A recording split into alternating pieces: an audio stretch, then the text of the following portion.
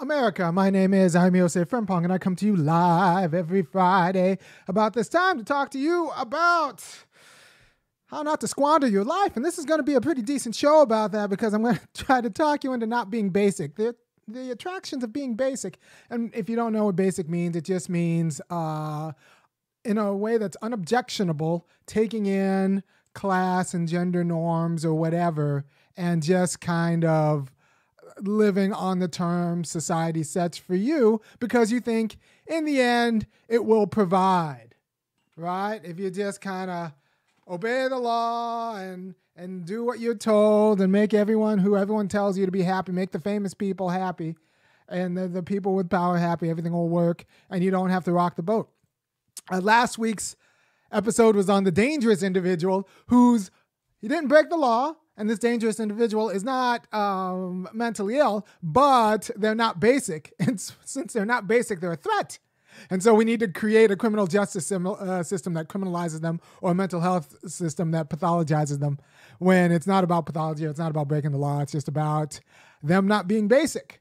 And society needs you to be basic, but then it'll also punish you for being basic and kind of you'll squander your life thinking that it'll take care of you this conversation happens because um, I was talking to a friend and she was saying that, like, look, you know, this white lady comes from like a patrician class. Uh, parents are professionals and all of that stuff. And what she said was this like, you know, so white people, they take climate change seriously because there's a way in which there's a way in which it's really scary because their class won't protect them. And in everything else, all the other justice things white people do, it's for other people because they low key think that their class will protect them. Except for COVID and masks. This is why uh, you know a lot of people who like live and let live use like got really, really, really kind of vicious with the mask mandate and the expectation that like masks will save them because that's you know they were actually vulnerable in the way that their class couldn't really protect them against. Um and and then you saw the kind of ugliness that came out with white women in their masks. So what of the a lot of the impetus towards climate change is that these same white people actually think that about like racial justice or labor justice um, their class protections will save them. And honestly, about labor stuff, a lot of women straight up think their gender is going to save them. And they'll just, if they can't either become the professional themselves that they would like in the in the industry they like, they'll just marry one.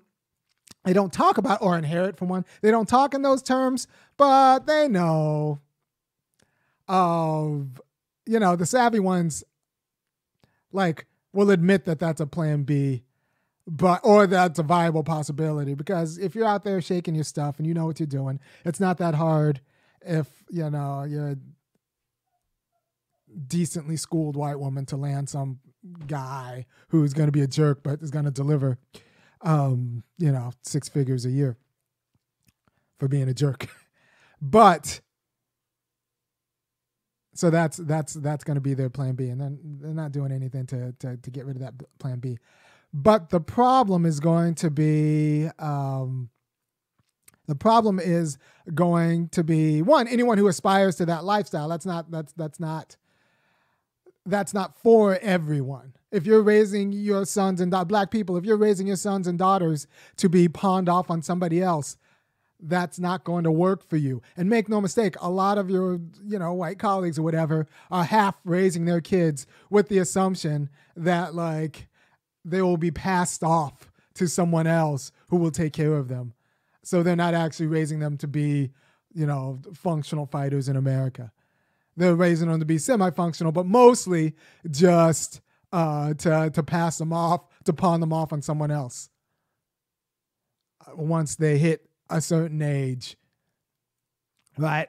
So uh, make that mistake. If you're trying to do that and you're black, you just don't know enough about economics because if if yeah, you don't marry into stability if you're black. You marry for other reasons that are good reasons. But if, like, even me, if like, if you're marrying me and for stability, that's ridiculous. I'll give you moral stability. and like, I'll be very wise. But uh, if you're marrying, if you if you think you get financial stability out of this arrangement, I don't I don't know. You're marrying into a financial liability and a lot of other liability too. It's funny because when I started doing this show, my wife, uh, you know, that's when we got life insurance because just in case I I I, I get um, I get deceased. make no mistake, I am actually very fit and relatively young, so and happy. So I love my life, and if anything happens to me, it did not happen by my own hands. I did not reach for a gun. I've never actually fired a gun. I do not own one. Um, and I'm very agile. So there was no way that anything happened to me by accident.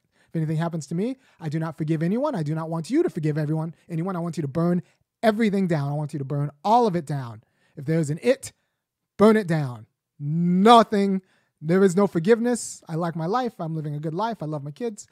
I'm, I'm doing very well by them, and I will uh, continue to do them. And if anything happens to me, your job is burn it down.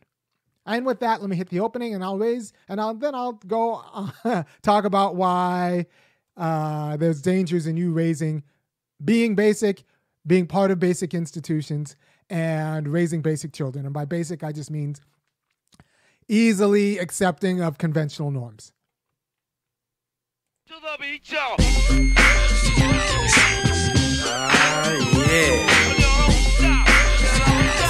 Good to me. Never change the ways for the world or the government. If it was the president, then I would state facts. You leave it up to me, I paint the White House black and it can feature in your front.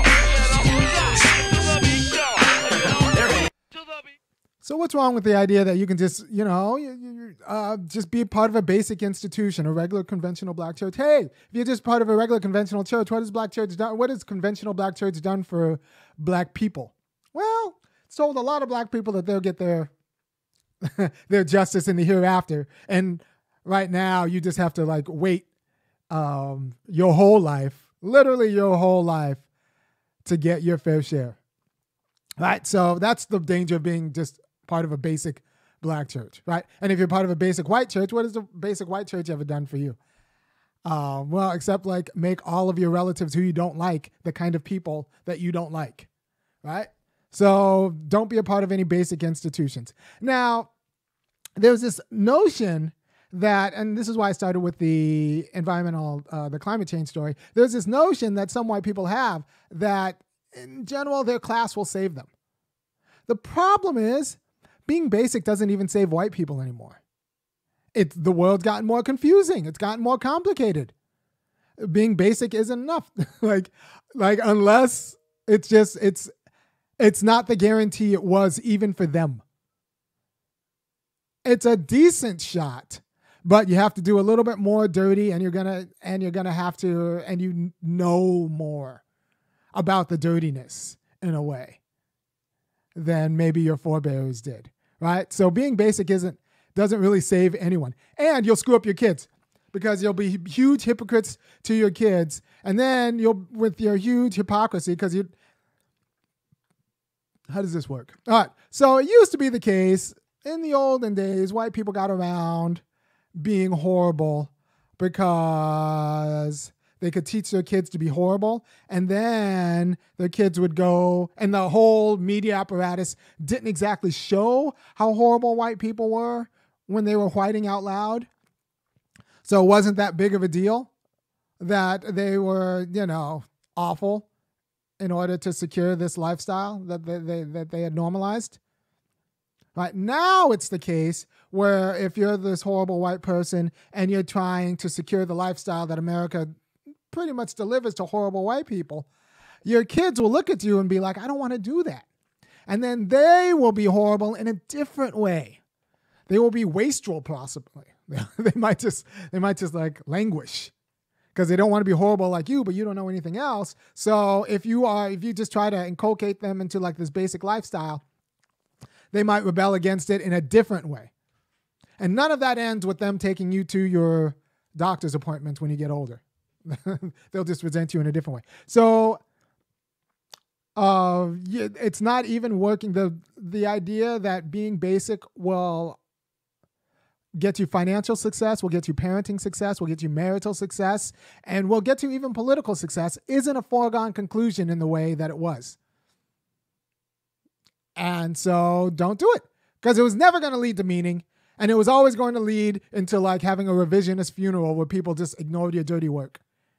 But now it's not even going to have the veneer of passing on um, uh, in the same way that it used to. So you can't be there's this there's just no life for basic. And you know, a lot of good, and this happens. I, I have a lot of professional class liberal friends with screw up kids, and they don't understand why that is. This is liberals with the screw up kids. The conservative kids are screwed up in different ways because um, there were fewer illusions. illusions. But the liberals, the the liberals who screw up their kids, they just didn't have enough content and and so their kids end up being really really really kind of awful people in ways that the liberal parents don't really know what to deal with. And yeah just being basic is not going to to save you. It's not going to save your kids. It's not going to stop them from not doing drugs. It's not going to it's just the safety net's not there for the the basic american. The one who just un on uh, critically accepts norms, both with school and gender and all of that stuff. It's just not there. You'll end up, well, it's always ended up in drinking, but you'll just end up drinking and divorce because, like the, the game, like you, like the stories you tell yourself and the stories you tell other people, won't, um, won't cohere in the same way, right? And it won't cohere, and and so don't be basic. It's not going to save you. Don't raise your kids to be basic. It's not going to save them. I have a lot of friends, uh, you know, who who are surprised when they're unexceptional kids who are not necessarily unexceptional, but they're only exceptional insofar as they do exactly what's told when it's told to them. It's not working. It's it's not leading to the kind of success and the kind of meaning that they wanted for their kids. Because they thought like not so deep down that the institutions would provide if you just did everything diligently without any without regard for like the dignity of the thing you were doing just because you were told to by someone who was more important than you.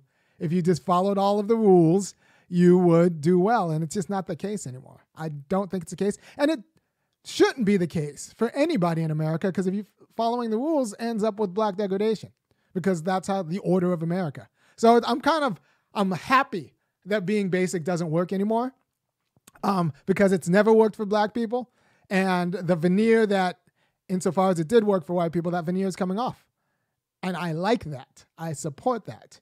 Uh, I think basic kids should get punished with below mediocrity. If you're raising your kid just to like adopt uh, like adapt into the norms of America, I hope your kid fails. And I will be one to push him down. Push him down. Cuz and I will castigate you as a parent because you saw this and yet you still said, "Well, I'm going to try to ride this basic thing out." Maybe my kid will be a nice accountant for like some banker and uh, they'll be great because no, they'll be miserable. They might get the banking job. They might even be a nice accountant, but they'll screw up their marriage. They'll screw up their kids will hate them. I hope the kids get all the drug habits and all the ennui because that's what you get for trying to think that just being a basic American in a world in an America that needs fixing will um, will work. And if you like anything I'm saying, go ahead and kick down five, fifteen, or fifty dollars a month to www.thefunkyacademic.com because depending on who you talk to, I'm making myself downright unemployable by telling you guys the truth about the stakes of this parenting. Um, so don't be, don't do it. Don't do it the way you should do it. Because if you do it the way you should do it, maybe, maybe the conventions will provide. I don't know. I don't think it's the case. I think it would be irresponsible. Both like even in a self-interested way, like I don't think it will actually lead to the to the to the outcomes that that that you're promised. And like politically, it's not going to do anything for black people, right? So this was the Cosby myth, right? A lot of people saw Cosby in a different world. Different world almost had me going to to to Howard. like this close to going to Howard just because it's different worlds. I had a little crush on Kim. I thought Howard was going to do it. Now I, am glad I went to a state school in California because I would just I would I would still be in debt. I would still be in debt Um, and I, I, I'm not convinced that it. Yeah, I don't, I don't, I don't know. Um, so there's this life, there's this idea that if you just kind of do what you want, do what conventions um, lay out for you to do, it's not a trap. But really, the conventions are luring in you, luring you to a life that will actually uh, be it's a trap. It's luring you into a life that might be good for the standing conventions to keep them going, but it won't necessarily reward you because you are disposable to those conventions. So the moment you step out of line by mistake, even, um, they'll toss you out. And you know, this a lot of black people think they can kind of live and like they could stably live and just not make white people mad and that'll work out somehow like Miss Ann will write a big check to you at the end and it'll all work out. That's just not a good way to live life. But because Miss Ann will string you along and also uh, so not only will the check the check's not going to come consistently and not only that, um, it's internally contradictory because the stories you'll have to tell yourself about yourself are going to be dicey. The stories you'll have to tell your kids about yourself are going to be dicey. And like I can just say like I believe in integration, but I don't integrate on my knees, like like because I that, that's true, and I can tell and that and that's how I get away like with pretty much living the life I want to live because it's true. I I believe in integration. I just don't integrate on my knees, and um, I integrate standing up straight on my terms. Um, and and that's and that's the way to be in life. And that's not particularly basic, and it, and it makes people nervous both for themselves and on my behalf. But and yet I still live, and yet I still live, and like I said, I, I thrive um, I did I did have a little scare last uh, yesterday morning. I went out for a run, but it was too late. I mean, it's too early in the morning. Yesterday I was running. I run without my glasses. I don't see very well, but I was, yesterday I was running without my glasses, and so you know, it's going, going, going, going, going, and I'm a little over forty, so these things actually matter. And then I hit a speed bump and I trip, but I did not fall. I did trip though, so I'm running and I tripped, but I did not fall. But I had visions of what happens if I fall because I for a while it was a kind of an open question whether I have a bad hip or not, or if I was just out of shape. Turns out I'm just out of shape, and like as I lost weight and got back in shape, uh, the hip got better. But like it could be the case that I fall and don't get back up again. So that was that was special. Had little one of those over forty scares because uh, you know when you're young, you can just kind of you can just say like, oh, I might have fallen, but not like I would have gotten hurt. Now I'm like, ooh, I don't fall. I don't even change directions anymore. I feel like lateral movement is for people in their 20s and early 30s. I got a friend who popped an Achilles rounding a like a softball base, and like now I don't move side to side. I don't turn corners. I go backwards and I backpedal. I go forwards and I backpedal. I don't go side, side to side. Is not for me. It's for other people. Other people go side to side. I speak to you every Friday that's my way of it's one more of my ways of not being basic. Now, so there's this idea that if you just be a basic American, America will provide. That's just not true anymore. And it shouldn't have been true because being a basic American was anti black. But now it's just not true. So you have a lot of people who are confused.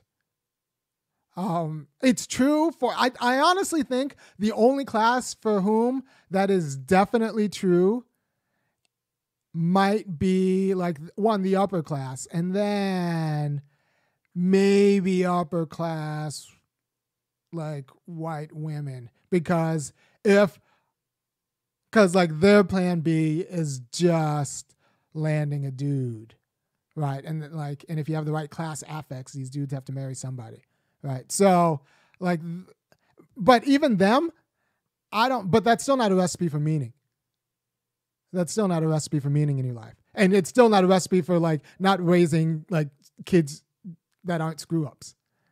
Right. So a lot of people raise kids that aren't screw up because they're not honest about themselves, about like some of the cheats they took in life, some of the uh, and and and how they got from point A to point B.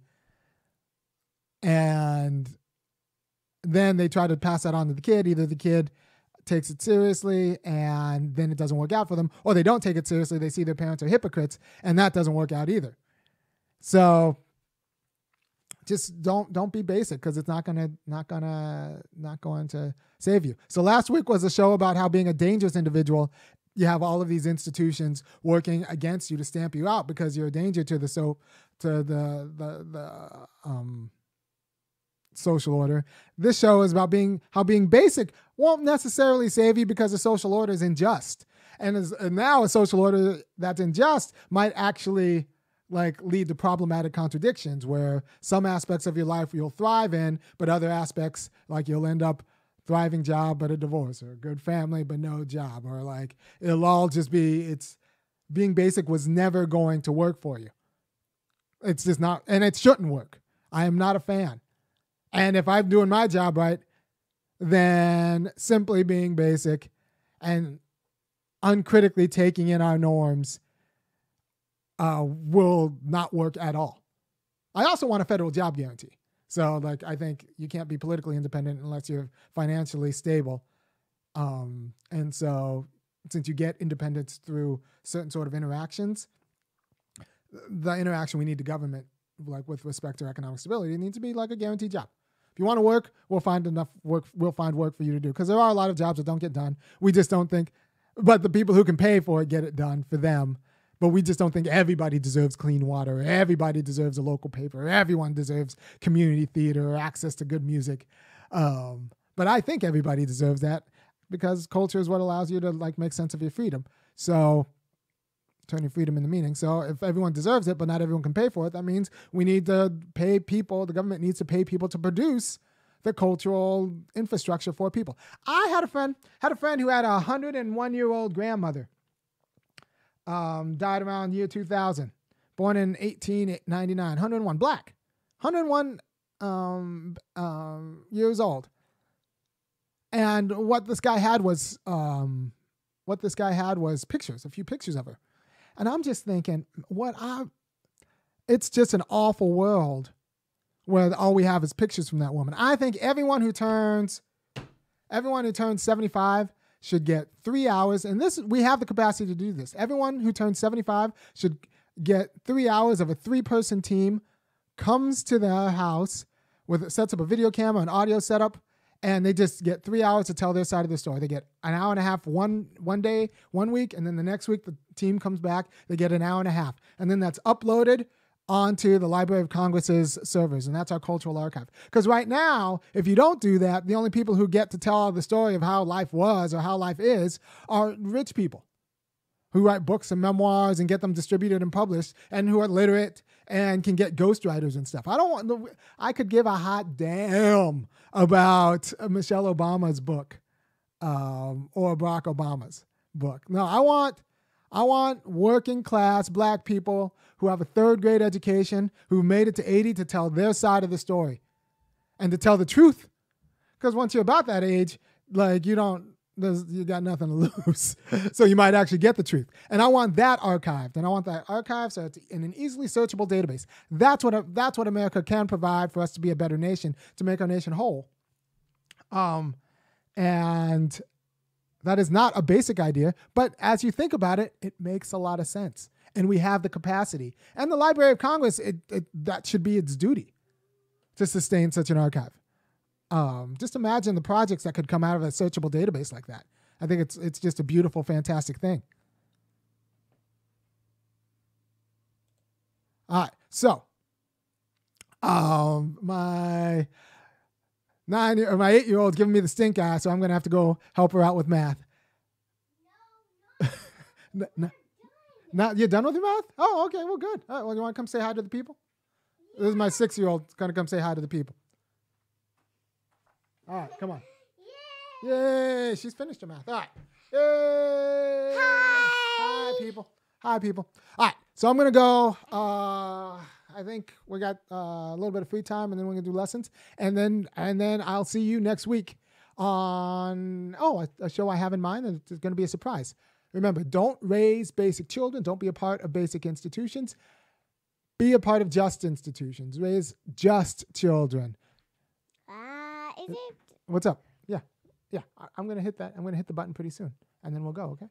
All right. And that's that's gonna be a little bit scary because you want to like in a pinch you're gonna say, well, the institution will provide for us, so I just need to follow the rules. The in- black people, this is, should be clear for you. The institution will not provide for you.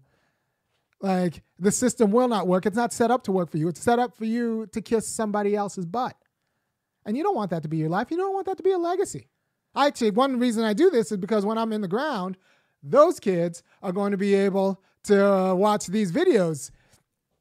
Um, uh, and that's going to be one. That's going to be my archive, and then my grandkids. So, like, I got a plan. And if you support me in this plan, go ahead and kick in www.funkyacademic.com. And white people, being basic isn't going to save you, your relationships, your job, your marriage, or your kids either. You think it is? You're going to roll your dice that way. It's not going to work out. I'm just saying. You think it is, but we're all niggerized now. So don't do it. And so none of us are free to all free. All right. Thank you for your time. And I will see you next week. If you appreciate the work I do every week and you think that I should continue to do it because I'm giving you the quality of political knowledge and insight that will help you not squander your life and kind of rescue meaning from it, then go ahead and go to www.funkyacademic.com and kick in 5 15 or $50 a month or make one enormous donations.